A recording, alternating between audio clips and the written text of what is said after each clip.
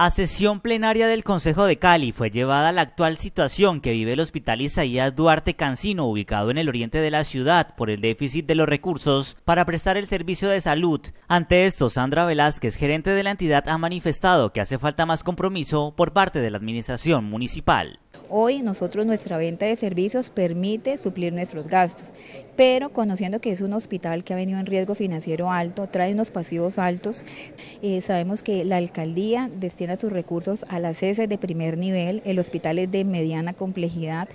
pero asumió una responsabilidad cuando se creó el hospital mediante escritura pública. Entonces, como adquirió esa responsabilidad, nosotros hoy hacemos un llamado para que apoyen esta administración que es importante saber que está dando resultados. Asimismo, Juan Manuel Chicango, concejal y ponente del caso, precisó que es necesario conocer cuáles han sido los aportes de la actual administración con la idea de tomar decisiones y no afectar el servicio de salud en los habitantes del oriente de Cali. En donde los proyectos que hoy tiene el hospital se los presenten a la Secretaría de Salud, la Secretaría de Salud invierta unos recursos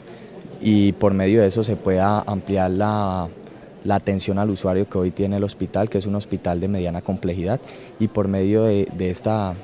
de esta eh, inversión o de estos programas que necesita el hospital, pues el municipio ver cómo puede hacer unos convenios y cómo puede aportarle también dinero. Por su parte, Nelson Sinisterra, secretario de Salud de Cali, precisó que se debe dar claridad en los servicios, ya que es una empresa del Estado con recursos del departamento y la administración municipal. Nosotros la facturación que tenemos es únicamente la que contempla el cubrir los recursos de aportes patronales relacionados con lo que nos gira el ministerio directamente, que incluso no le llega al municipio, sino que directamente se le gira al Hospital Isaías Duarte Cancino por parte del Ministerio de Salud. Igualmente, Jaime Vargas, usuario del hospital ha manifestado que realmente lo importante es hacer una inversión para mejorar el servicio, ya que hoy requiere de una mejor atención que beneficie a la comunidad. Eh, la atención es buena,